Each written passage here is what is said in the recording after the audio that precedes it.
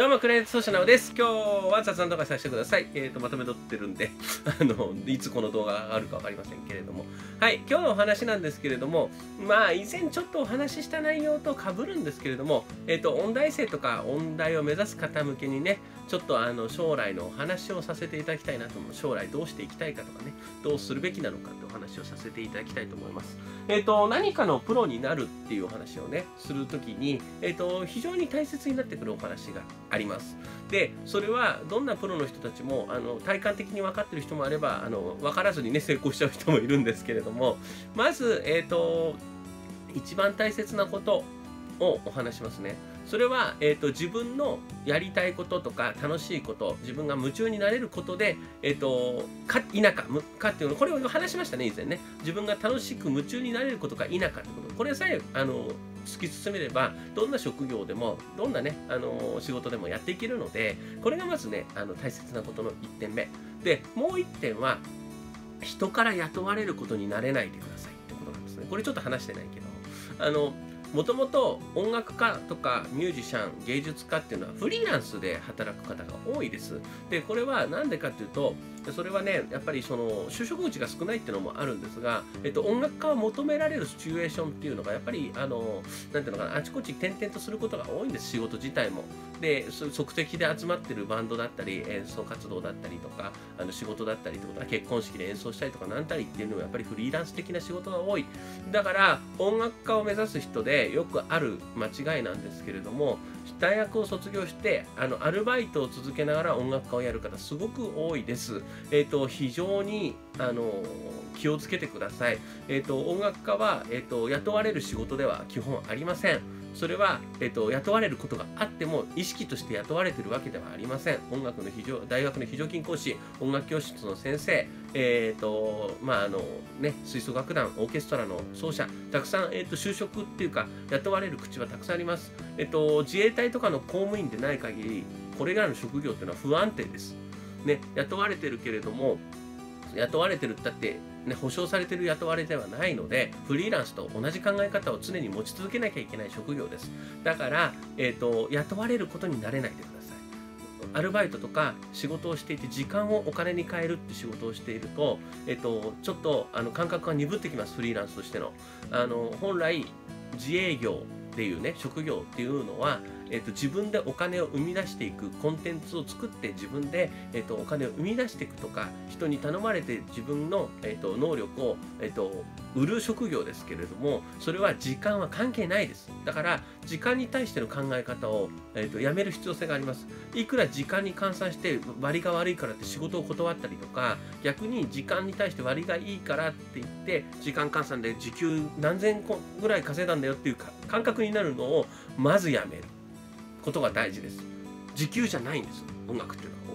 ね、その自分が作った作品音楽表現に対する対価なんですね。これは自分が商売やってるからよく気がついたんですけれどもあのねあの商品を売って買ってって仕入れてっていうのは時給換算じゃないじゃん。その商品がいくらで仕入れてその商品がいくらで売れたから利益がいくらだって感覚もちろん経営になってくるとこれに、えーと、時間経費っていうのがかか感覚があのかかってくるんだけど個人事業主フリーランスの場合はそれを抜きにしてもあのやっていけるのであの最初のうちはその時間感覚で時給換算で物事を考えるのをやめましょう。あ経営者になってなんで時給換算が必要になるかっていうとそれはちょっと説明簡単にすると,、えーと、従業員がいて、えーと、従業員が働いてる時間があってそれに対する給料がかかったり、えーと、家賃がかかって1ヶ月の家賃っていう固定費がかかる中でその在庫に関しての、えー、とコスト感覚が変わってくるからなんですけれども難しい話しちゃいましたねすいません。はい、なので、えー、とまず時間を切り売りするっていう考え方をやめる。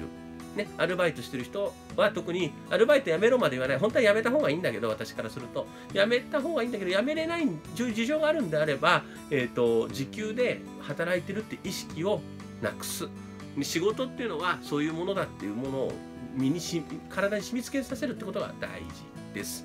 で、えっ、ー、と、で、3つ目は、これに付随つつながることなんですけれども、えっ、ー、と、自営業、フリーランスっていうのは自営業であり、経営者であり、商売人であるってことをきちんと自覚すること。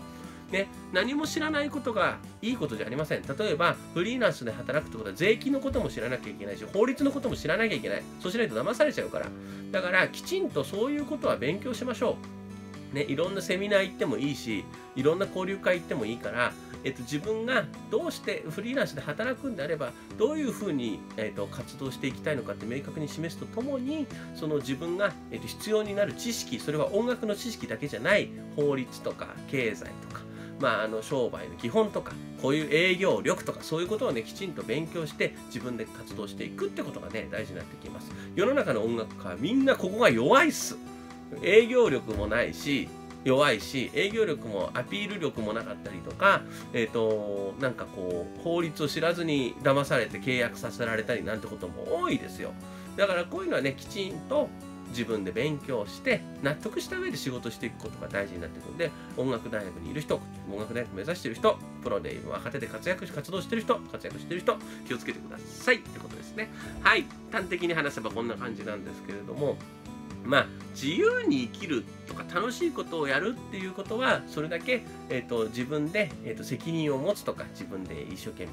う勉強するとか大切になってきますね。やっぱりその自分が今まで経験した時もそうでしていろいろ騙されます。フリーランスでね、活動して騙されることもあるし、大変な目に遭うことも多いです。でも、それはやっぱり、あの、いい知識、勉強になるので、ね、そうなった時に落ち込まずに、まあ自分の音楽でミスしちゃった時もそう、何かこう、自分が失敗しちゃった時もそう、なんか落ち込まずにプラスで考えていきましょう。このミスは、この間違いは、自分をどう変えてくれるのか、自分がどういいことにつながるのかってことを考えてね、えっと、活動していただけたらと思います。ってことでね、今日はそのフリーランスとか、あの音大生とか中、音大目指す中高生向けにね、将来の仕事の仕方とか、フリーランスとしての生き様、生き方ってお話をさせていただきました。楽しんでいただけたらグッドボタン、チャンネル登録よろしくお願いします。Twitter も Instagram もやってるんでね、気軽にフォローよろしくお願いします。では、失礼します。